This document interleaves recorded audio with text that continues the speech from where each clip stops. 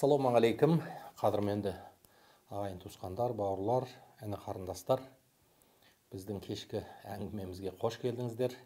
Бүгін біз жалпы қыз мәртебесіне байланысты қыз қадіріне байланысты қыз тәрбиесіне орай әңгімемізді өрбітпекшіміз. Ал енді бүгін қыз мәселесіне байланысты қыз расында мен өзім төрт қыз тәрбиелеп отырмын.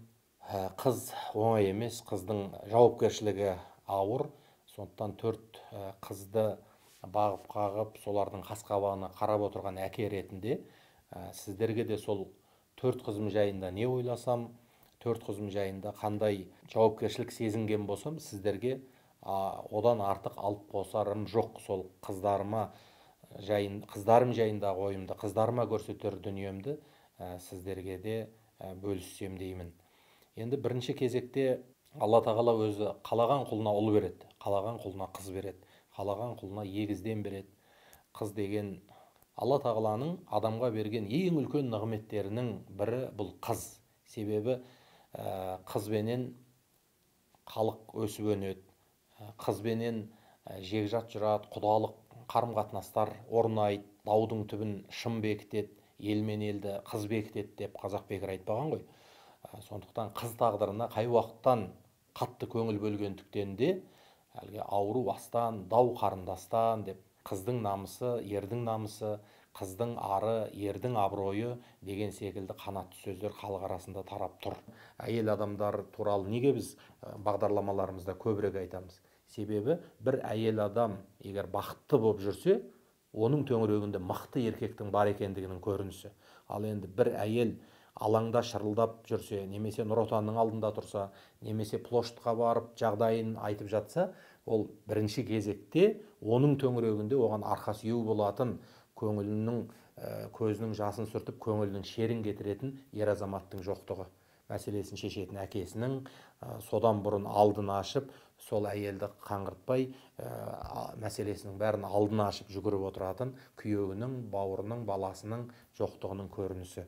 Ә, сол себептен ер азаматтар әлсіресе бақытсыз әйел көбейеді. Қыз қадірленсе қадірлі қыз ғана намысты жігітті тәрбиелеп өсіреді ертең.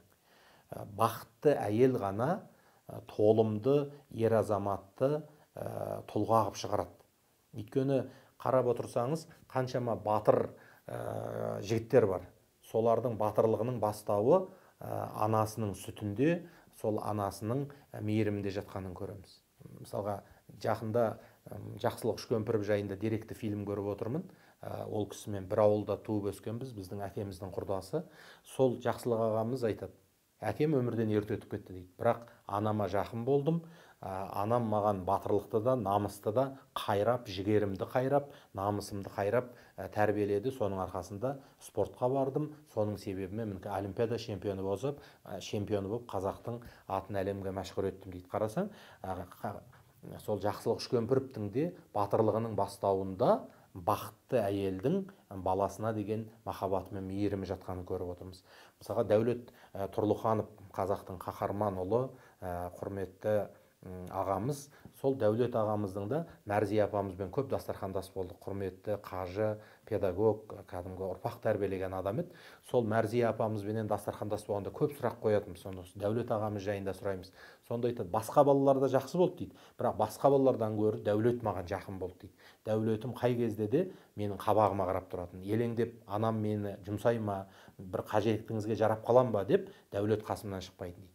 Күнделікті дәулет маған таңертең тұрғанда бүкіл жұмысын бүкіл тірлігін маған телефон шалудан бастайтын дейді. Анашым қалыңыз қалай? Жақсы ұйықтадыңыз ба? Денсаулығыңыз жақсы ма? Көңіл күйіңіз орнында ма? деп ә, анасына жақын болған. Яғни анасы бақытты өмір сүріп мықты еркекке сүйеніп бақытты ер, ә, өмір сүрген көңілі тыныш болған әйел ғана мысалы ер азаматты жақсы тәрбиеледі ал өзі жылап жүрген көңілі шерге толып жүрген әйел адам ол баланың қоғамдағы орны оның жігіт болуы оның намысты болуына көңіл бөле ала ма әлбетте ә, көңіл бөле алмайды. Сондықтан жалпы әйел адамның бақытты ә, болуы көп мәселені шешеді. Әйел бақытты болса бақытты ұрпақ тәрбиелей алады. Ал енді өзі бақытқа жарымай жүрген жүйкесі тозған бақырып сөйлейтін ә, шаршаған не істеп не қойғанын білмей бір сөзді он қайталап қиналып отырған ә, ана ол балаларының ішкі дүниесіне үңіле алмайды сыртқы дүниесінде ә, сырттай қадағалап қарағанменен толық жағдайын мәселесін қадағалап отыра алмайды. Сондықтан сөзіміздің басында айтарымыз дүниеге қыз баланың келгені біріншіден үлкен нығмет. Өкінішке орай кейбір бауырларымыз ә, білместікпенен бірнеше қыз қатар келіп қалса жұбайына ренжіп жатады. Ойбай сен ақ осы қыз туа бердің деген дейді. Ал қазіргі ғылымның өзі дәлелдеп отыр. Енді икс y хромосома деген дүниенің бар екенін қазір көз ашық адамның бәрі біледі ғой.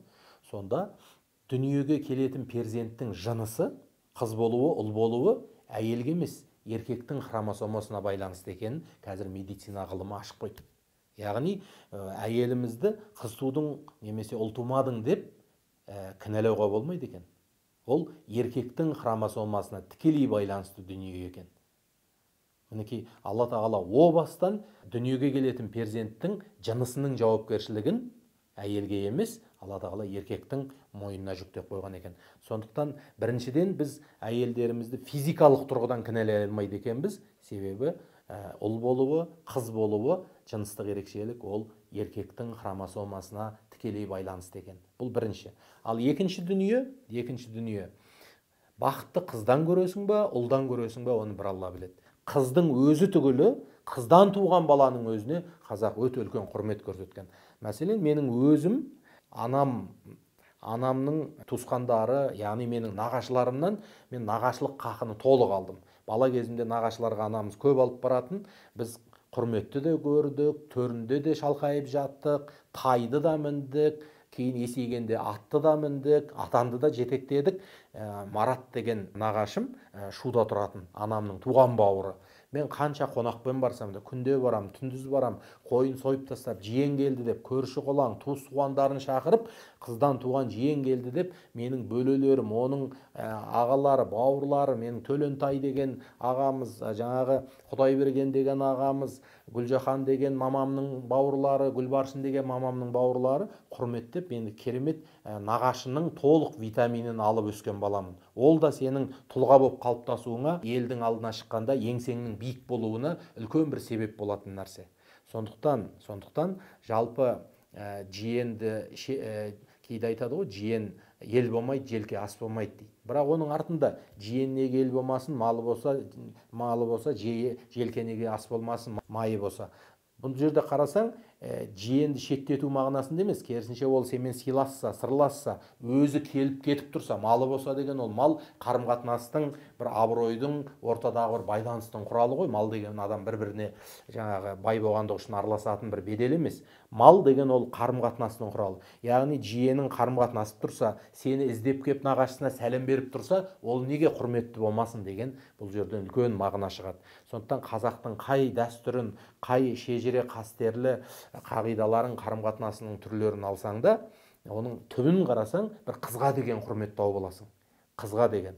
Сондықтан қазақ айтады баламның тәрбиесін қашан бастаймын? деген сұрақ қояды екен ғұламаларға ертедегілер.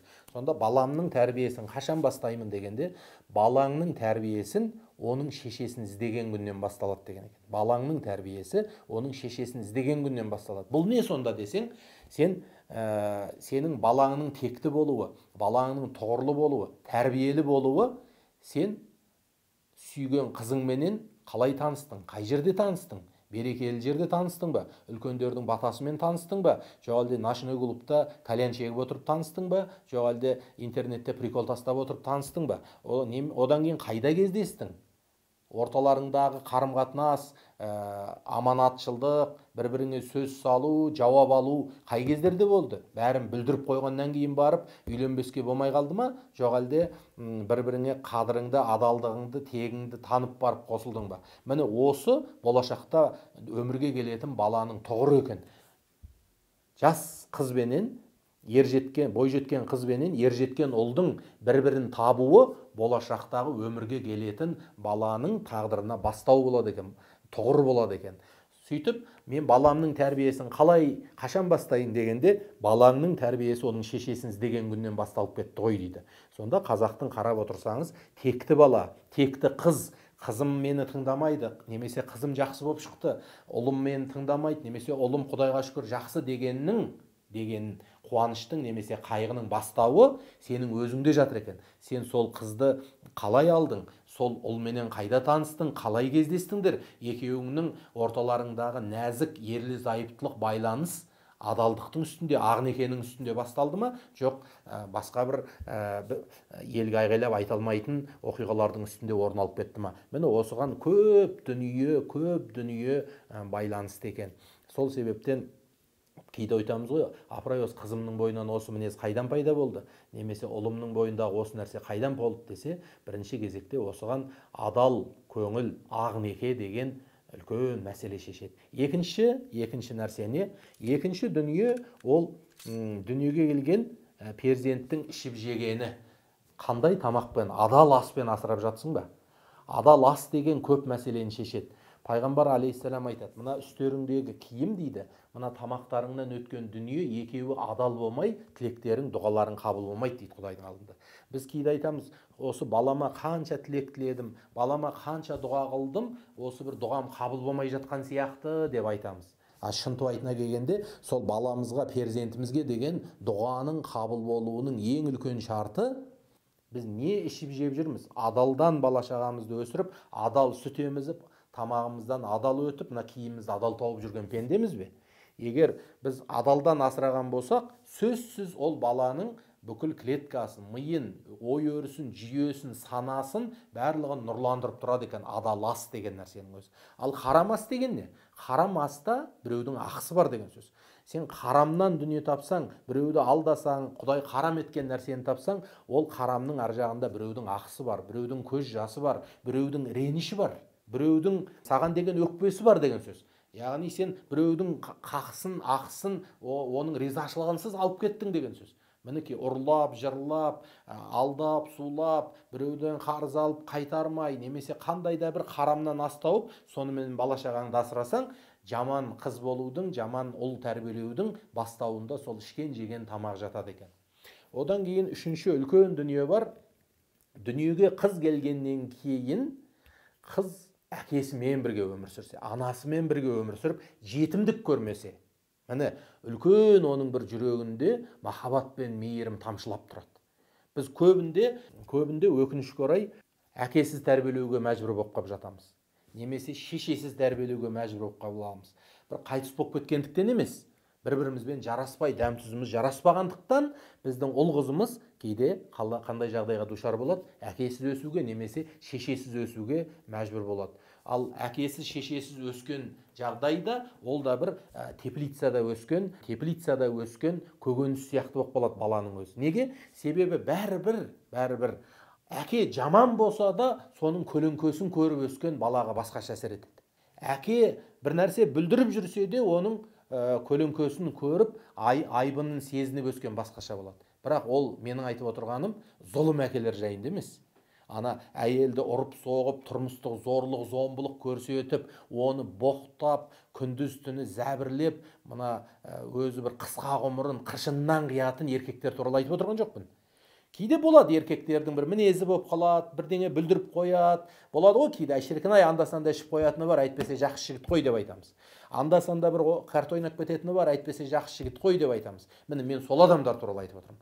Сондай бір анда санда бір нәрсе бүлдіріп бірақ қағып сілкіп әйтеуір бер, бетін бері қарай бұрсаң жақсы адам болып кететін жігіттер бар. Міне осындай әкені сақтауға тырысу керек екен. Себебі сондай әкенің көлеңкесінің өзі үйдің ішінде көрініп әй әкең ұйықтап жатыр немесе әкең келе жатыр еді қызым бірге тамақ дайындайық дегеннің өзі қыз балаға басқаша бір сезім басқаша бір ә, бойына көзқарастарды қалыптастырып бір сенімділік ұялатады екен.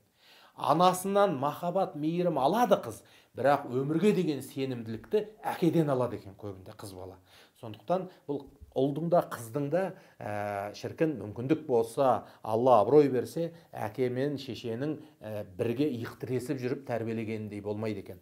Одан кейінгі төртінші нәрсе қыз баланың бақытты болуы үшін болашақта тұғырлы болуы үшін ең керекті нәрсе оның көретін тәрбиесі. Енді тәрбие неден басталады? Ол айтуға оңай. Қазіргі уақытта қызым үйде қылығы интернетте деген заман болды. Қызым үйде бүкіл сырын подружкасы білет деген жағдай кездесіп жатыр қызым ана ә, подростковый жаңағы өтпелі кезең деп енді айтамыз ғой. Негізі оны мұсылманшылықта адамның балиғатқа жетіп оның иманына шайтан араласатын уақыт деген сөз ол. Қазақтың тәрбиесінде де бір ә, қыздың бойжетіп толысқан кезінде оның енді медицина тілінде оның гормондары өзгеріп оның бойындағы сезім талшықтары басқаша күйге түсіп жататын болса ал енді қазақта оны бойжетіп бұлаңдаған қыз дейді. Міне осы бойжеткенге дейін бойжеткенге дейін қыз ең үлкен тәрбиені көзбен алады екен. Қыз көргенін істейді. Қазақ не дейді? Ана көрген тон пішер дейді. Анасының айтқанын естіген қыз тон пішеді деп жатқан жоқ көбінде. Ана көрген тон пішеді анасының қасында жүріп ә, төсегін жинасып үйін тазаласып бірге қамырын жайысып шайын жасасып кішкентай бір бес жас қыз бес жасар қыз болса да сол қолына кішкентай қамыр алып соны жұлмалап ана жерде кішкентай бір сыпырғыштың шетін көтеріп немесе шаңсорғыштың әлгі ә, шлангысын тасып жүрсе сол қыздың тәрбиесі болып есептелінеді. Ол бекерге жүрген жоқ мен осы үйдің ішіндегі осы тұрмысқа осы тіршілікке жауапты бір кішкентай болт секілді кішкентай бір шеге секілді осы бір мына ағашқа қағылған кішкентай шегенің қызметі қандай болса қыз баланың да үйде шешесінің етегіне сүрініп бірге жүргені оның сол үйдің ішіндегі тұрмыстың тіршілігіне қағылған бір шеге екендігінің көрінісі. Ал енді қыз балаға үйдің ішінде қазақтың ұлы тәрбиесінде не дейді? Оң жақта отырады дейді. Әжесі отырса әжесінің оң тізесінде отырады. Үйдің ішінде ғана бір құрметті орын болған бұрын мысалға айтайық қазақ үй болса домалақ қазақ үй болатын болса сол қазақ үйдің оң жағында пердесі бар ішінде шілтірі бар бір орын болған. Ол қыз шашын тарап киімін ауыстырып өзімен өзі бір оңаша қала алатын қыздың орны болған. Мысалға ұлдың орны болмауы мүмкін. Ұл бір ә, домалаған жерінде ұйықтап жатуы мүмкін. Бірақ қыздың үсті ашылып қалмас үшін қыздың шашы жалбырап көрініп қалмас үшін өзінің бір қазақ үйдің ішінің өзінде де бөлмесі болған. Қыздың оң жақтағы орнын беретін болған. Әженің тізесінен орын. Қыз қызды махаббат пен мейірімге бөлеген. Ал енді әке сырттан қызметтен келсе де әке сырттан жұмыстан келсе де бірінші кезекте он баласы болып жалғыз қызы болса да қызының бетінен сүю керек. Қызына махаббатын көрсету керек. Бірінші сырттан сыйлық алып келсе базардан кішкентай бір сағыз алып келсе де ұлдарына сен қоя тұр деп арғы бөлмеде жүрген қызын шақырып алу керек. Қызым қайда? Қызым келе ғой деп сыйлықты бірінші қызына беріп маңдайынан сүйіп шашынан иіскеп одан кейін барып ана күтіп тұрған ұлдарына беру керек.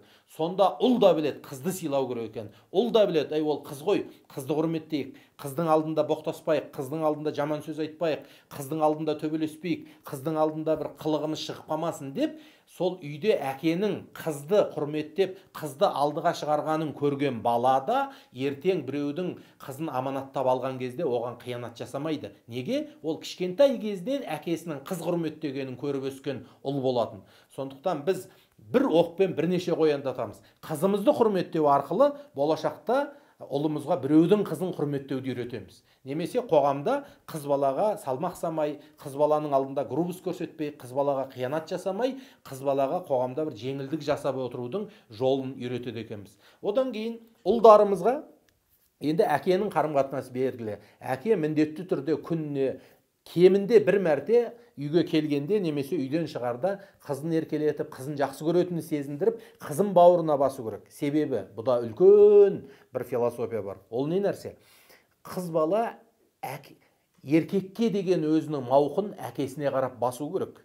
Ол бөтен бір жылтыңдаған жігіттің сөзіне түсіп қалмас үшін немесе кез келген бір елпеңдеп бұған назар аударып ысқырған жігіттің ысылдаған құшағына кіріп кетпес үшін ол өзінің еркелігін де ішкі қыз ретіндегі нәзіктігін де ер азамат ретінде әкесіне шығара алу керек негізі.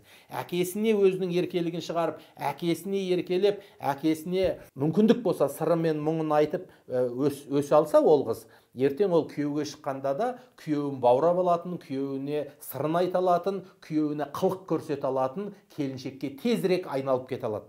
Күйеуімен тезірек тіл табысып кетуіне әкесімен тіл табысып жүрген қыздың мүмкіншілігі көбірек. Сол себептен әкелер қыздың өзіне ақылды айтқан кезде көбінде ә, шешесі арқылы айтып немесе бір ұлға айтқан болып отырып айтып қыздың тікелей жүрегіне салмақ салмай мүмкіндік болса барынша қыз баланы ә, еркелетіп және алақанға салып мәпелеп аялап өсіру керек. Ал енді ал енді екінші нәрсе оның ағасы мен бауыры болса әке міндеттеу керек. Мынау сенің қарындасың немесе әпкең.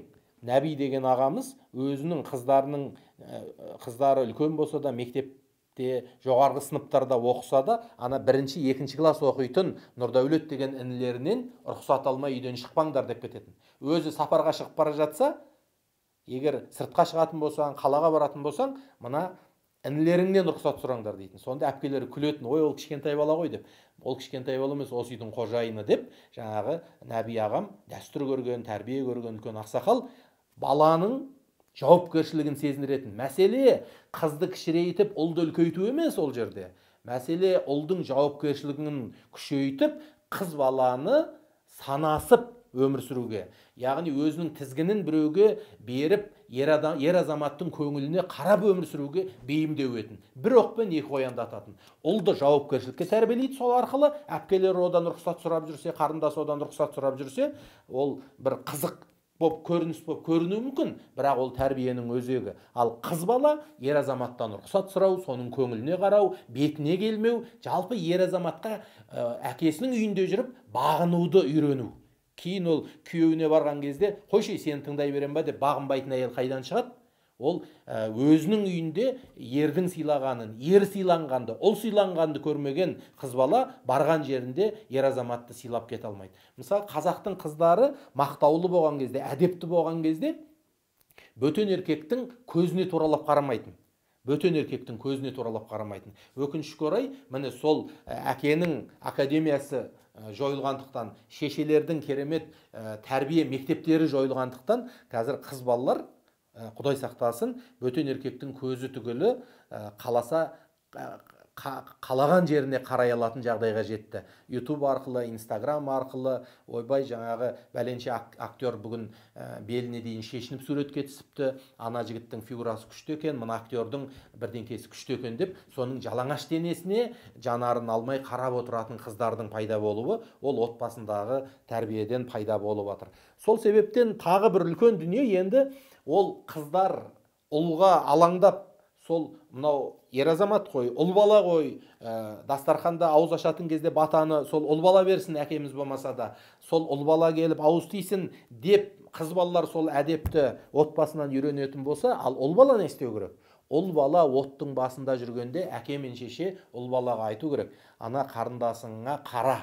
Ана қарындасыңа жәрдемдес ана түнде қарындасыңа мусорды шығартпа ана қарындасың терезесін ашып жаба алмай жатыр соған жәрдемдес.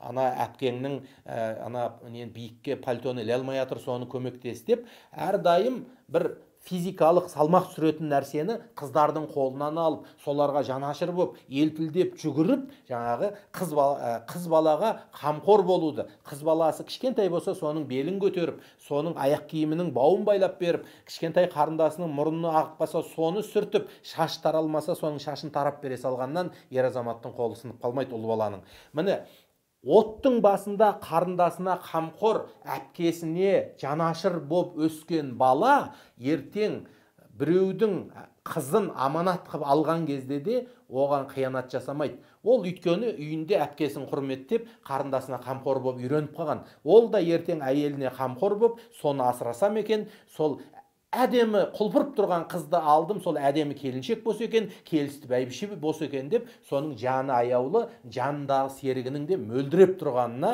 өзі талапкер болады. Мінекей оттың басында біз элементарный нәрсе көреміз бірақ осы дүниелер болашақта көп бақытсыздықтың алдын алады бауырлар. Одан кейін енді жақсы қыз балаға қарындас қандай қамқор болу керек екенін қыз баланың орнын үйдің ішіндегі құрметі жайында білдік. Ал енді қыз баланы сыртқы қазір жаулаушы пиғылдағы идеологиялардан әртүрлі басқыншы мәдениеттерден әлеуметтік желі инстаграмдағы өзінің үлгісін шашып отырған ә, өнегесіз ә, қасиетсіз дүниелерден қалай сақтаймыз?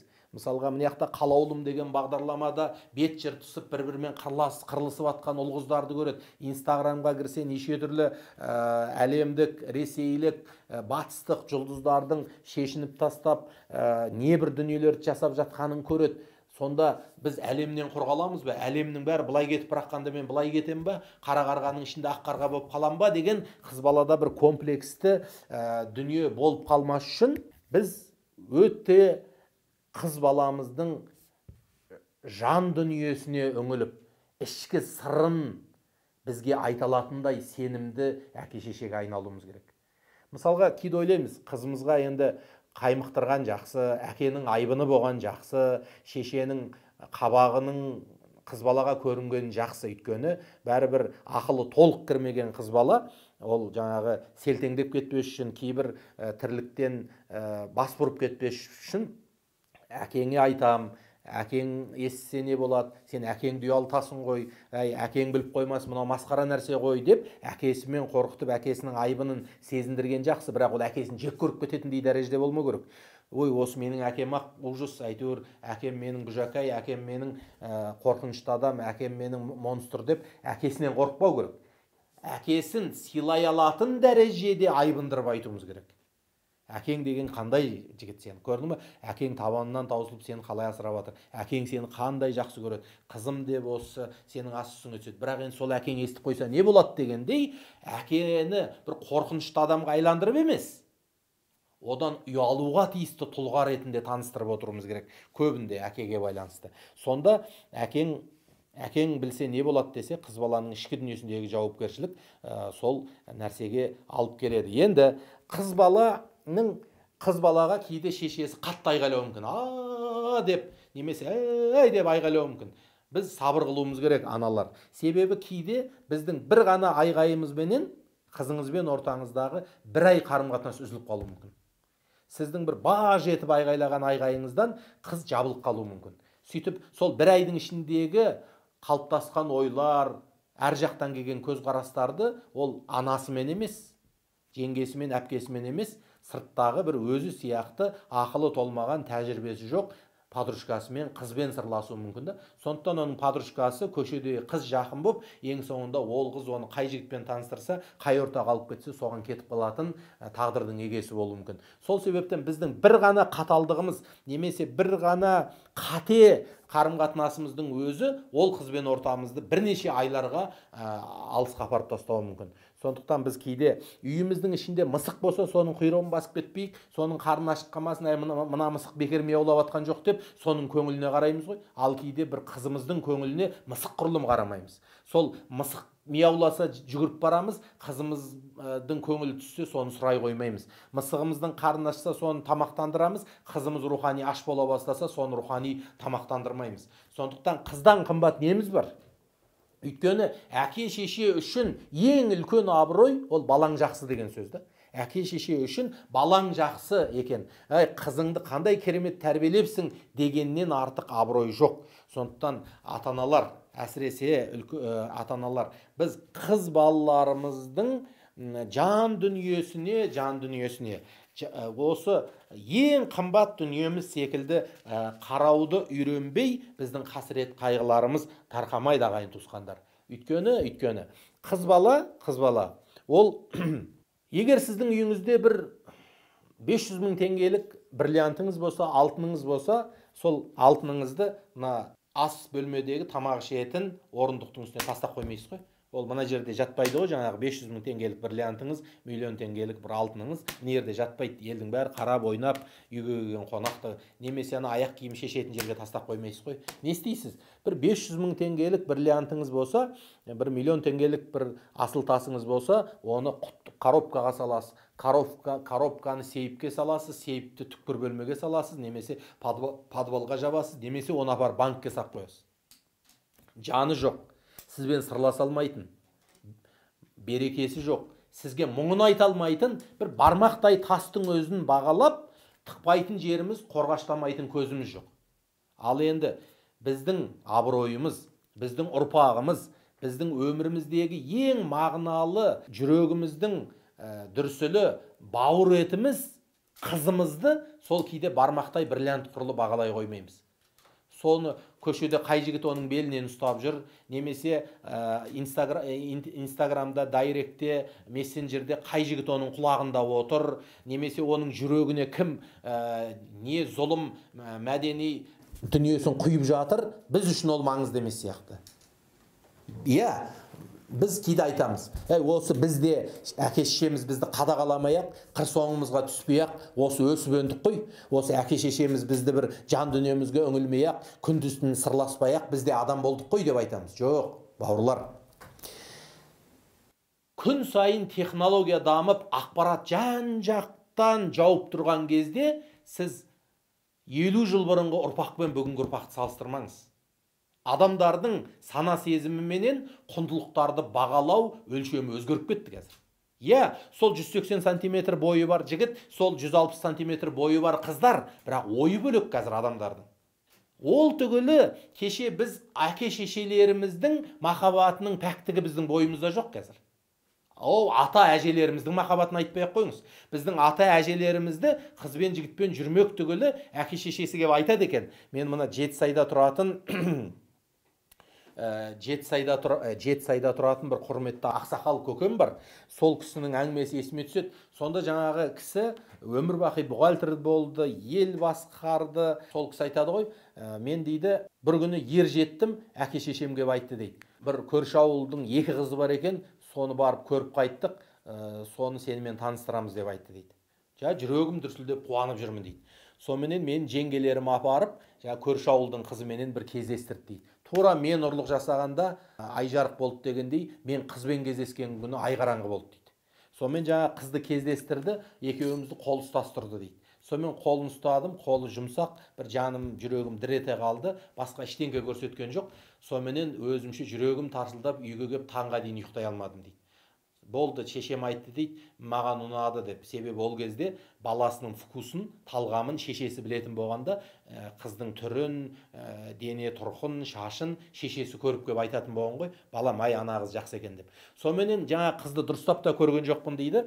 Соныменен ә, үйленесің деп айтты дейді. Сонымен алып келдік қызды. Үйге келіп беташарда өзімнің келіншегімді бірінші рет көрдім. Көрсем ай мен күндей сұлу екен. Соныменен бақытты өмір сүрдік. Мінекей он шақты бала дүниеге келді. Мен таң қаламын ғой ақсақал сонда сіз дұрыстап көрмей онымен жүрмей сырласпай сұхбаттаспай анау жаңа жардың шетінде аққан суға айға қарап отырып сырласып әңгіме айтпай сонда сіздер қол ұстасып жүрмей қалай болып кетті дегенде балам ол кезде елдің бәрі сөйтіп үйленетін дейді.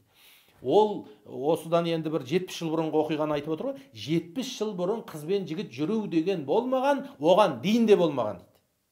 Сонда қызбен жүру дегеннің өзі мына кеңестік кезеңге келіп бізге сіңген дәстүрдің бірі. Міне сол себептен де жаңағы күтпеген аборт жылап қалып жатқан қыз сөзінде тұра алмай жатқан жігіт дегеннің бүгінгі күнде көбейіп кеткендігі сол жүру мәдениетінің қазаққа сырттан таңылғандығынан. Ол біздің табиғи ә, некелесудің ерлі зайыптылардың қосылудың жолы емес екен. Енді қалай дейміз ғой енді? Сонда қазіргі уақытта қазіргі уақытта қазіргі уақытта да сол әке шешесі таныстырып немесе өзінің ағасы жеңгесі жекжат жұрат құдалары таныстырып бір бірін көріп ә, бірнеше рет көріп немесе бірнеше айлар бойы ойланып барып үйленіп жатқан адал некелер бар. Міне бұл дәстүрге де келеді және заманауи современный қарым қатынасқа да келеді. Өйткені қазіргі уақыттағы қыз балалардың көп жылауының ең үлкен себебі жауапкершілік қыздың өзіне тасталғанда қыз сыртта университетте мектепте интернетте сыртта жүр. Қыз өзі инстаграм арқылы ватсап арқылы жігіттермен танысып жатыр. Әлі ақылы піспеген өмірлік тәжірибесі жоқ. Ақ пен қараны толық ажырата алмайтын жағдайдағы қызды. Былайша айтқанда әлі тоқты болмаған қозыны анау орманға жібере салып қасқырмен өзің тіл табысып ал деген сияқты жағдайға жіберіп қоямыз. Соныменен қыздар жылы сөзді кім айтады жақсы сенімді сөзді кім айтады соның жетегінде кетіп жатыр. Өкінішке орай бақытты болып кетіп жатқандар да бар сол жолменен. Бірақ бас жарылса бөрік ішінде қол сынса жең ішінде деп қаншалаған қыздардың айта алмай жүрген сырлары қаншалаған жігіттердің айта алмай жүрген мұңы міне менің телефонымда тұр міне менің ә, ватсабыма келіп жатыр. Қаншалаған жылаған қыздардың хатын ә, оқимыз кейде. Өкінішке орай оқығың да келмейді бірақ аға бір ауыз сөзіңізді айтшы дегеннен кейін сол нәрсені мысалға оқып таразылап бір ауыз болса да ағалық ақыл айтуға мәжбүр болып отырмыз. Әйтпесе бүкіл жұрттың проблемасын жүрегімізге кіргізіп алып түнімен ақылеп ұйқылеп ұйықтай алмай жатқан бізге де оңай емес. Бірақ енді өз төңірегінен аға таппай жатса өз қасынан сырын айтатын көке таппай жатса енді ләж жоқ. Сол қаймана қазақтың сонау атыраудан хабарласқан өскеменнен шымкенттен хабарласқан қыз жігіттерге аға көке болып отыруға біз мәжбүр болып отырмыз ағайын туысқандар. Енді қыз бала ә, соменен ә, қазіргі уақытта әсіресе қыз балаларға өте көп көзқарастарды мына әлеуметтік желі интернет кино индустрия ә, жолын көрсетіп жатыр. Бірақ өкінішке орай сол батыста сол америкада сол европада мына нағыз современный өмірдің ең биік шыңына шыққан қыздардың өзі айналып келгенде түптің түбінде сол қазақтың айтқан ақылынан артық ештеңке айтып жатқан жоқ. Мерлен монро деген баяғы білесіздер голливудтың үлкен актрисасы болды. Атақты мерлен монроны бәрі біледі. Сол кісінің өмірден өтіп бара жатқан кездегі сол актрисаның жазған сөзі бар. Сол актрисаға бір қыз хат жазады. Құрметті менің сүйікті актрисам сіз әлемді мойындаттыңыз. Бүкіл еркектердің бәрі сізге ғашық болды. Бірақ мен қайтсем сіз сияқты бола аламын қайтсем сіз сияқты биік дәрежені бағындыра аламын дегенде соған жазған жаңағы монроның хаты бар. Айналайын. Сен маған ұқсамақ түгілі дейді. Менің жүрген ізіммен жүрме дейді. Мен өзіме берілген бүкіл сұлулықпенен бүкіл талантты бір еркектердің қолжаулық қылған құрбандығына айналдым дейді. Міне әйел адамның бақыты дейді. Өзі арқа сүйер деп тапқан бір ер азаматтың ер азаматтың қасына серігі болып жұбайы болып және кішкентай бір баланың анашым деген яғни мама деген сөзін естуден артық әйел адам үшін бақыт жоқ екен дейді. Былай қарасаң голливуд былай қарасаң америка нағыз еркіндіктің ақша табудың шалқып өмір сүрудің бүкіл рахатын көрген сол кинозвезданың ең соңында айтып кеткені менің ауылымдағы ахмет атамның айтқан әңгімесінен еш айырмасы жоқ айналайын қызым байға ти бір жақсы күйеу тап та бала туып ана болсашы деген менің ахмет атам қандай сөз айтса өмірдегі бүкіл рахатты көрген мерлен монро да соны айтып отыр. Айналып келгенде сонда енді мен сол ахмет атамның айтқан сөзінің қадірін білу үшін сонда бүкіл дүние жүзін аралап бүкіл еркектің қолжаулығы болып қанша адамның алдағанына жылап қанша адамның арқа сүйеуінен қалып соңында кеп осы сөзді айтуым керек па? Міне қазақтың әрбір мақалы қазақтың айтып кеткен әрбір даналық қастерлі сөздерінің барлығы бір бір кітап қой. Бір бір кітап. Сондықтан қыз бала бұл ең құнды дүние.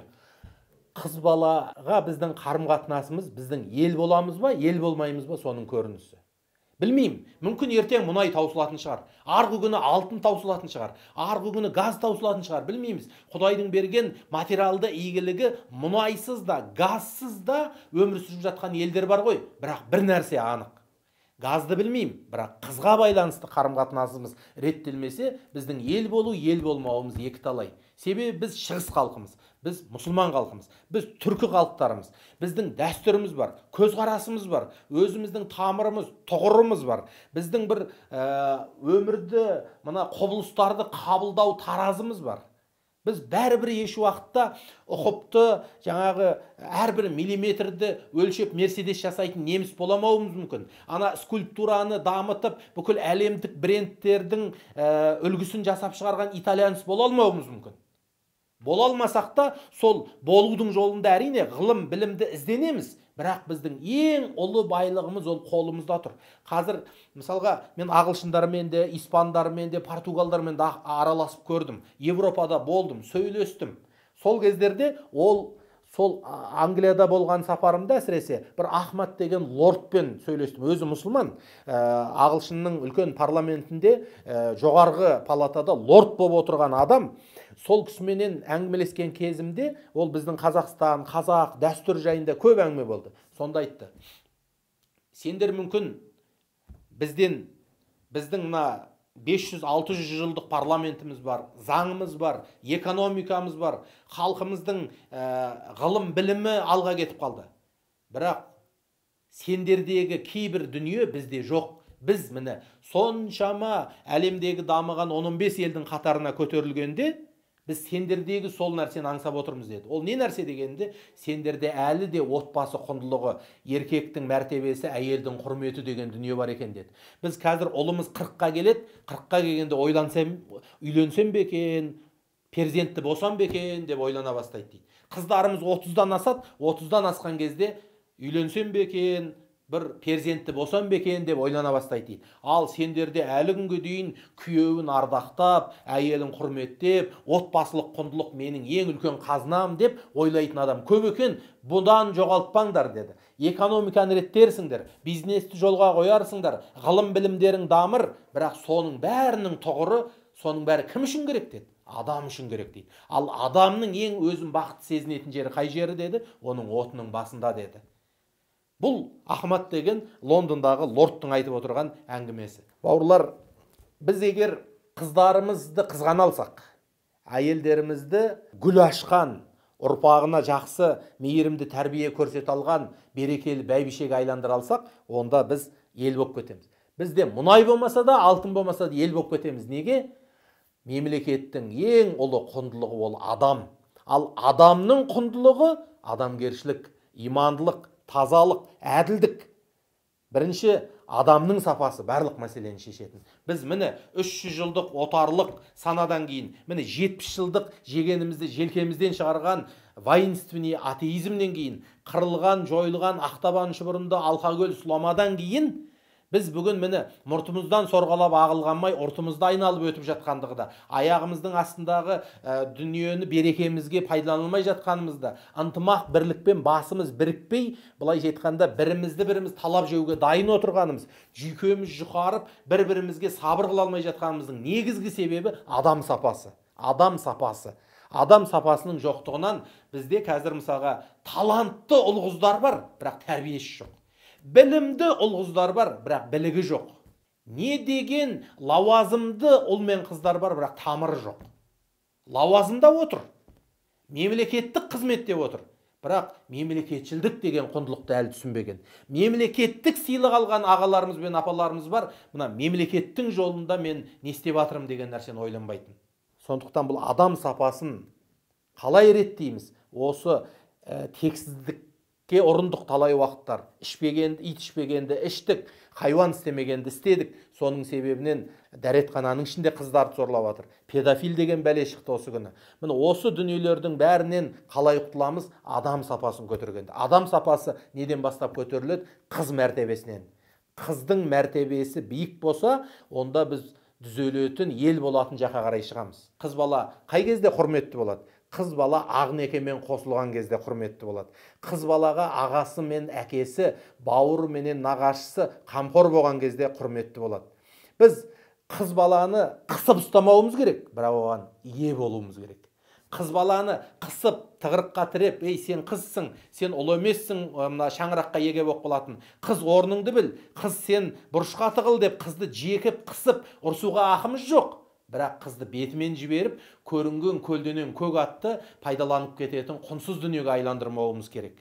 Сондықтан тағы да жауапкершілік кімге келіп түсіп отыр? Осы қоғамда ер азамат деген атты арқалап жүрген намысты қазақтар намысты жігіттерге келіп тіреліп отыр. Мен сіз ол әркім өзінің төңірегіндегі қарындасына әпкесіне өзінің әйелін қызғанып өзінің төңірегіндегі қыз балалардың қадір қасиетін құрметтей алатын болса құдай қаласа біздің қыздарымыз да өзінің қадірін білетін болады. Мына бір сұрақ ә, кеш жарық қызым отырып қалды дейді. Жұмыс жұмыс істеп жүріп уақыт өтіп жатыр. Тұрмыс туралы айтсам я сама знаю деп шығады. Осы қызды қалай ойына дәнек салсам болады қалай оятамын дейді. Енді қыздың я сама знаю дегені оның жүрегіне орын алатын көңілін толқытатын жігіт кездеспей тұр ғой.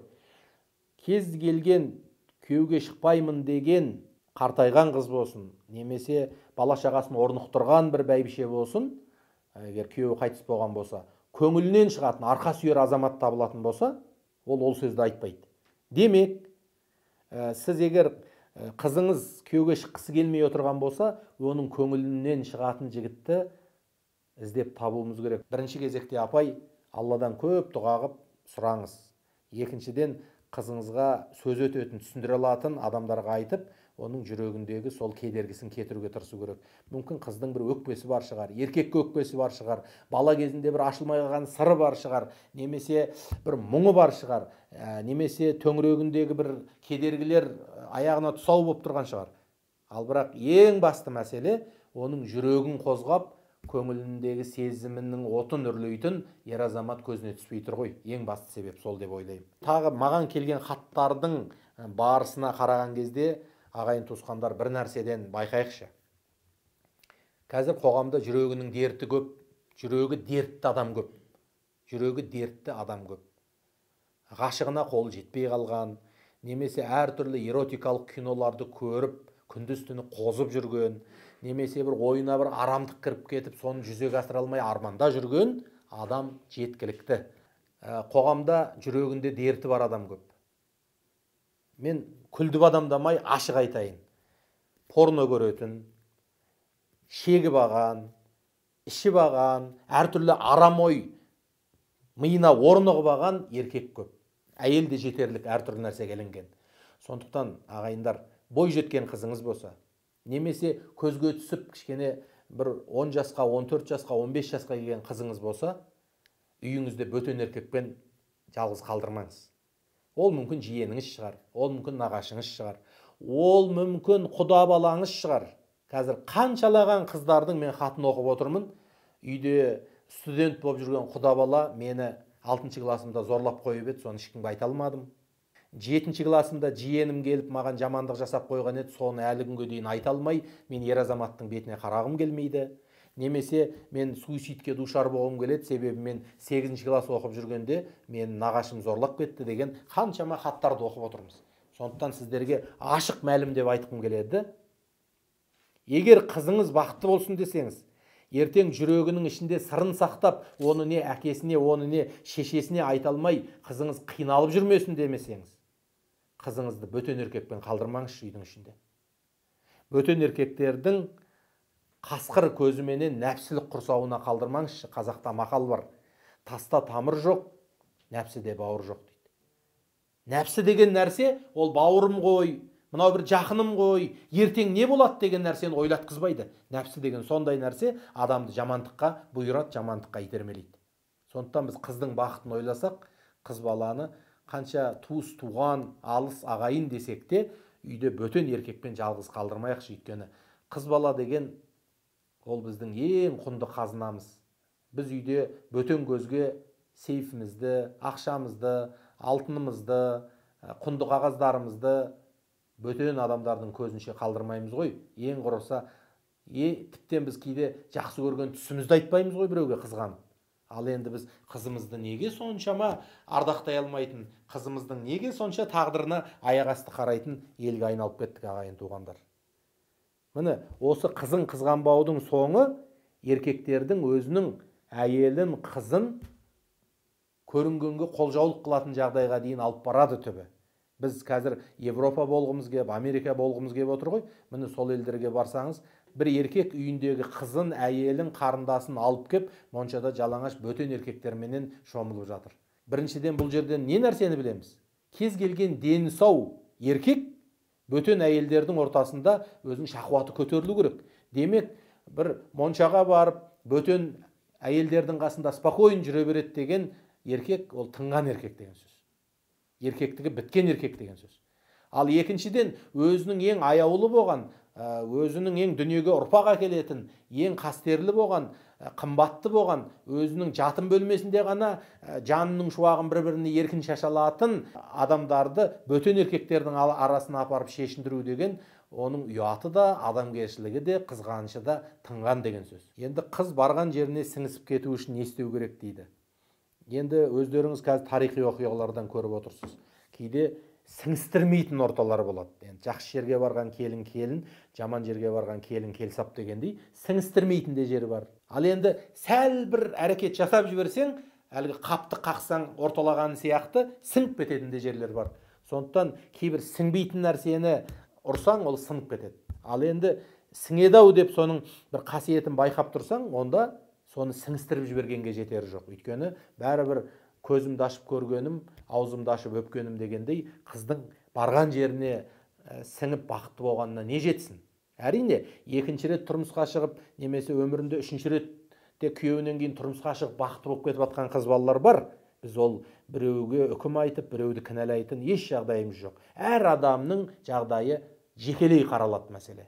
Ал бірақ жалпылай айтқанда қыз бала бір жерге сіңіп кету үшін бірінші кезекте біз жанашырлық көрсетіп үш төрт дүниеге мән беруіміз керек. Бірінші сол үйдің ішіндегі жағдайларды төркініне жеткізе бермесін.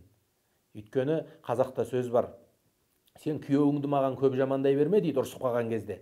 Сен ертең күйеуіңмен тіл табысып кетуің мүмкін ал мен ә, ол ренішті жүрегімнен шығара алмай қалуым мүмкін дейді әке шешелердің сөзі бар осындай. Сен күйеу баланың көп жамандығын бізге айта берме. Өйткені сен ертең махаббатың қайта тұтанып жарасып кетуі мүмкін ал біздің әбидамыз өшпей қалуы мүмкін дейді. Сондықтан бірінші кезекте қыз бала сол үйдің әңгімесін бұл жаққа жеткізбесін деп айту, айту керек. Екіншіден мүмкіндігінше сабыр қып өзінің өзіне жақпай тұрса да өзіне ұнамай тұрса да жақсы қасиетіменен еңбекқорлығын көрсете беру керек. Өйткені мен бір келінді анық білетін едім. Сол келінді барған жерде менсіне қоймады. Сен осындай жерден шыққансың сәл осындай бір кемшілігің бар дегендей соған жаңа сабыр қылды шыдады еңбектенді баласын туды. Бірақ бір нәрсені учитывать етіңіздер бір нәрсені ескеріңіздер. Күйеуі ұрып соққан жоқ. Енесі зұлымдық қылған жоқ. Қайнатасы қорған болып келініне ара түсіп отыратын. Сондықтан үш құндылық бар да мысалға. Қайнатасы енесі айтайық ә, күйеуі. Кейде бір қайын сіңілдері дегенде құндылықтар болады енді. Сол кезде егер бір адамнан зұлымдық көрсе енесі дұрыс болмаса ана құндылықтарға сүйене отырып енесіне сабыр қылуға болады. Күйеуі дұрыс болмаса енем жақсы ғой атам жақсы ғой деп сабыр қылуға болады. Бірақ енесі қысым көрсетсе күйеуі түсінбесе атасы жақсы көрмесе онда шынында да ол келін сынып кетеді барған жерін. Сіңбейді керісінше сынып кетеді. Ал енді жаңағы мен танитын бір келінді атасы жақсы көреді. Күйеуі мен махаббаты керемет бірақ енесі менсінбеді. Сонымен ең соңында бірнеше бала туды сабыр қылды. Мінекей ондаған жылдардан кейін бір нәрсеге қайран қалам. енесі өліп өшіп мұндай келін жоқ деп бүкіл елге мақтап отыр. Сонда келін өзінің сабырлығымен еңбегімен жеңді. Неге? Себебі күйеуінің махаббатына сүйеніп қайнатасының қамқорлығына сүйеніп отырып енесін еңбегімен жеңді сабырымен жеңді. Ал енесі де пендешілік қылғанмен біраз уақыттан кейін парасаты оянып ол бөтен адамның келіні емес өзінің келіні екенін мойындап баласын қызғануды қойып ары қарай адамгершілікпенен қарым қатынас жағдай жасап кетті. Жол мұраты жету қыз мұраты кету дейді ғой. Жалпы қыз бала қанша жасында тұрмыс құрғаны дұрыс дейді. Бұл индивидуальный сұрақ. Әр адамға әртүрлі мысалға 17 жасында күйеуге шығып та бақытты болып ә, кетіп жатқандар бар 22 жасқа келіп те енді біздің психологтар зерттеуші ғалымдар әрине 21-22 жас дегенді айтады. Зерттеп былайша айтқанда әлеуметтік ғылымдарды зерттеп отырған ә, кісілер 21-22 жас деп айтады. Мен енді жасқа байланып қалған нәрсе жоқ. Егер сіз сәл ә, оқимын кәсіп жасаймын деп жасыңыз 25-26-27-ге келіп қалса да әлі сізде толық шанс бар. Тағдырыңызға жазылған бақытыңыз сізді күтіп тұр күдеріңізді үзбеңіз. Үміт деген нәрсе ол ең артынан кететін нәрсе. Бірақ неге мен ол сөзді айтып отырмын? Себебі сіз қандай кәсіпті игеріп майталман маман болсаңыз да қандай биік дәрежеге көтерілсеңіз де перзент әкеліп өмірге ол перзентіңіздің мама деп мойныңыздан келіп құшақтаған бір ауыз сөзіне ешнәрсе жетпейді. Маман болған жақсы ма мама болған жақсы ма дегенде сұрақтар бар кейде. Сол кезде айтамыз біз. Тағдырыңыздың қай есігі ашық тұрса мама болудың есігі ашылмай маман болудың есігі ашылса кіре беріңіз. Маман болыңыз оқыңыз дипломыңызды алыңыз. Бірақ мама болуды еш уақытта естен шығармаңыз. Ал бірақ әуелі ә дегенде мама болудың есігі ашылып әке шешеңіз соны ұйғарып жақындарыңыздың бәрі қолдап тұрса адамы табылып тұрса шыға беріңіз. Жол жөнекей оқып та кәсіпте жасап жатқан жеңгелеріміз жетерлік. Былайша айтқанда жастау кезде тұрмысқа шығып кетудің шансы көбірек былайша айтқанда отызға тақаған кезде өйткені отызға тақаған кезде сенімді деген жігіттердің көбі занят болып қалады да адам кейде ә, кімге тағдырын ұсынарын білмей қиналып жататын жағдайлар болады. Бірақ алпысқа келген апамыздың да шанысы болады. Жетпіске келген қарияның да бірлесіп шайын бірге ішіп бірімен әңгімелесетін қария табылатын жағдайлар болады. Алпысқа келген апамызды да ұзатқан кезіміз болды. Жетпіске келген кейуана қарияға да шал тауып берген кезіміз болды. Ол нәрселерге де куә болдық. Сондықтан үміт деген нәрсе ең артынан үзілетін болғандықтан біз ешкімге мынауың қалай деген сөзді айта алмаймыз. Енді біз бүгінгі нәрседен не түсініп жатырмыз ағайындар? Қыз баласын жылатып қыз баласын бағалай алмаған қоғам басқа бірдеңені бағалайды деп айта алмаймын. Өйткені мемлекеттің ең биік құндылығы адам болса сол адамды өсіре туатын өсіретін тәрбиелейтін қыз бала. Ол ертеңгі ана ол мүмкін сенің қызың ол біреудің жары ол біреудің анасы болады ертең. Үш құндылықты бойына сіңіріп тұр қыз бала. Ол саған қыз. Басқа бір жігіт үшін жар. Басқа бір ертеңгі перзентің үшін ол ана. Сондықтан осы құндылықтарды бойына сіңіріп тұрған қыз баланы біз қадағалап қарап бүкіл тәлімімізді де тәрбиемізді де қаржы қаражатымызды да назарымызды да уақытымызды да соған салмасақ басқа не нәрсеге саламыз? Қызға салған инвестиция миллиондап қайтады. Қызға салған инвестиция миллиондап қайтады. Ол сапалы ұрпақ болып қайтады. Алла тағала баршамызға ә, қыздардан көзайымдық көрген қыздарын құрметтеу арқылы басқа байлықтарын бағалаған елге айналуымызды нәсіп етсін.